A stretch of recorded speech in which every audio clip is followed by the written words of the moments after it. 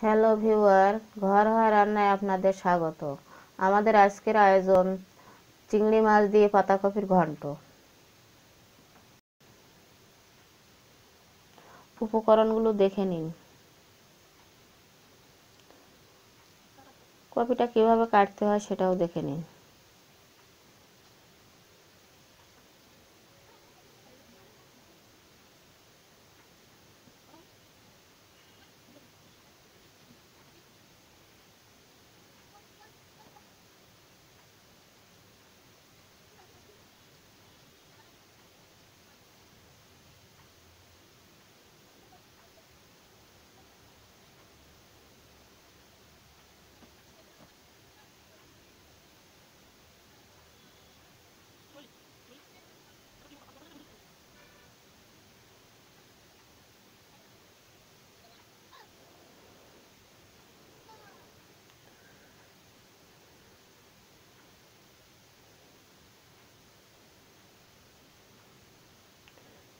চিংড়ি মাছটা কীভাবে কাটতে হয়, পাখনা ফেলতে হয়, ময়লাটা বের করতে হয়, সেটা ভালোভাবে দেখে নিন।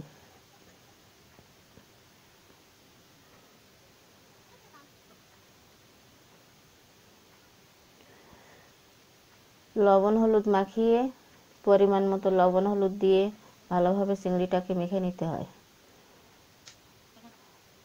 কড়াইতে অল্প পরিমাণে তেল দিয়ে মাছগুলো ভাজতে হবে।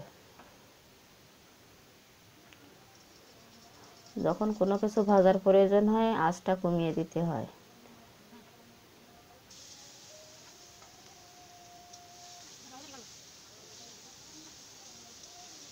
মাছগুলো ভালোভাবে ভেজে রাখতে হবে।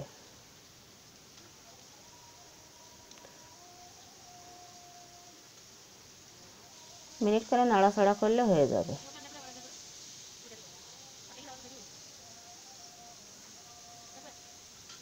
যখন লাল লাল কালার আসবে তখন হয়ে যাবে।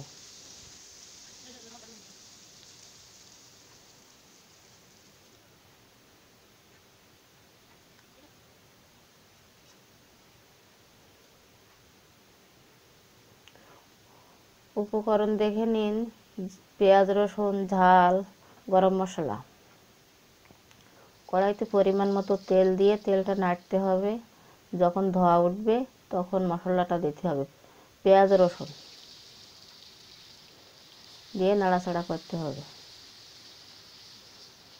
কিছুক্ষণ নাড়িয়ে ঝালটাকে দিতে হবে। ঝালটা দিয়ে কিছুক্ষণ নাড়তে হবে।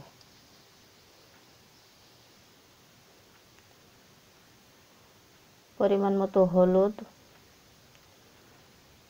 পরিমাণ মতো লবণ মশলায় দিতে হবে। দিয়ে নাড়তে নাড়তে সুন্দর একটা কালার আসবে, মশলাটা ভাজা ভাজা হবে, তখন কপিগুলো দিতে হবে। মাছগুলো দিয়ে একটু নাড়তে হবে।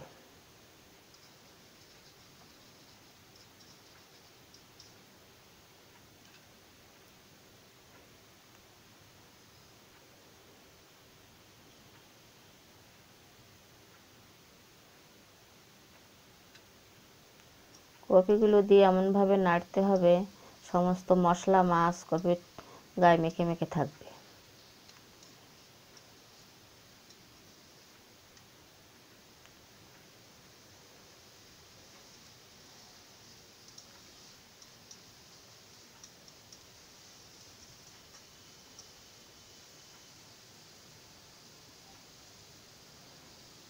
সামান্য পরিমাণে একটু জল দিতে হবে, যাতে মশলাটা তরকারির ভিতরে ঢুকে যায়।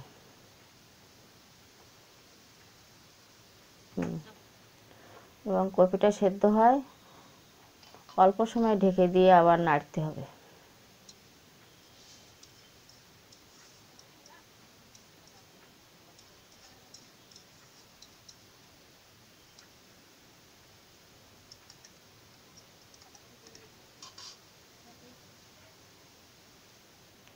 পাঁচ মিনিট ঢেকে রাখি। আঁচটা কমিয়ে দিই।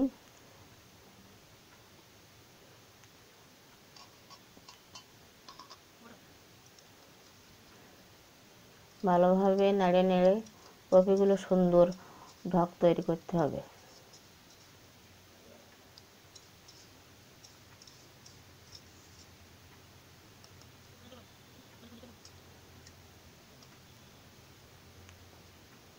সামান্য পরিমাণে চিনি দিয়ে দিই। যাতে তরকারির স্বাদটা মিষ্টি মিষ্টি ভাব হয়। গরম মশলাটা কপির উপরে দিয়ে ভালোভাবে তরকারিটা নেড়ে দিই।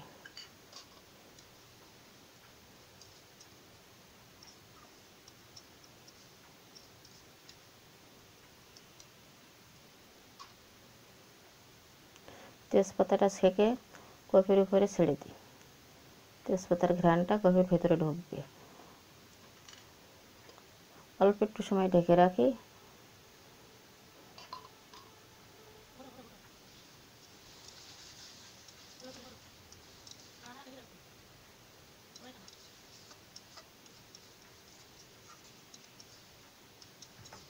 রান্না প্রায় শেষের পথে।